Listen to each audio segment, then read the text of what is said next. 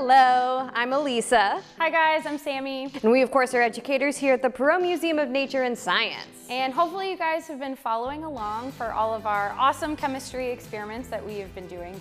And we've got some cool chemistry that you guys can do at home. So our last video showed some different types of physical changes where we removed heat energy from different materials and crystallized solids out of them. So what we're gonna show you guys is a way that you can create your own crystallized solids at home using a number of different materials that you might have in your pantry right now. So let's get started. All right, so welcome back and we are going to show you our crystal growing experiment. Now, just depending on what you have at home, uh, you might only want to do one of these, but we are gonna show you how to do three different kinds, just depending on different materials. Uh, so we have sugar, we have Epsom salts and we have borax.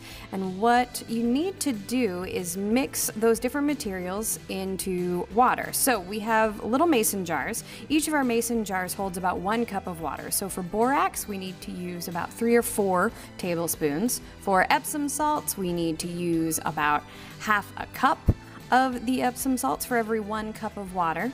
And for sugar, every one cup of sugar, you need actually about two to three cups of sugar to make sure it dissolves and saturates the liquid properly. So Back here, we've actually already done that. We have to boil the water and dissolve the powders into the water and make sure that they're good and saturated. You will also need a base for your solution. We use pipe cleaners here at the museum, but if you have string or things like that at home, you can use that as well.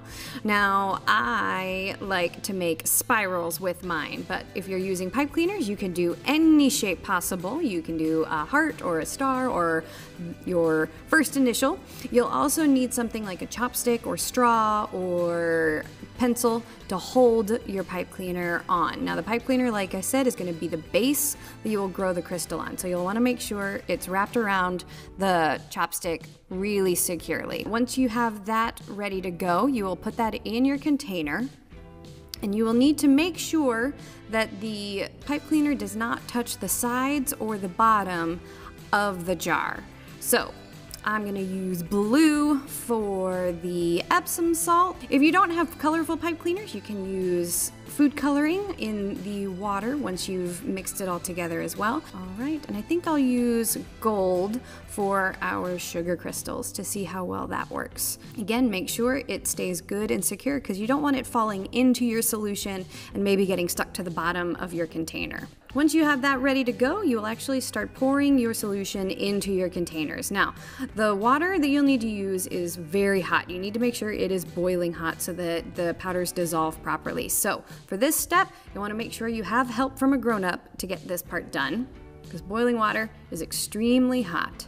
And you'll want to very carefully pour your solution into your various containers. Now your container at home might be bigger than our little mason jars that we use here, and that's perfectly fine. Maybe you want to grow lots of really big crystals. But this experiment is something you can do over the span of several days and watch how the crystals grow. And I'll be very curious to see what the different solutions look like. Different solutions can create different types of crystals. So very much looking forward to seeing what ours look like. And I hope that you choose to share yours with us as well. We'll get to do the borax as our last one. All right. So now we're gonna let those sit for the next day or two, probably even longer than that, and we will see how the crystals grow.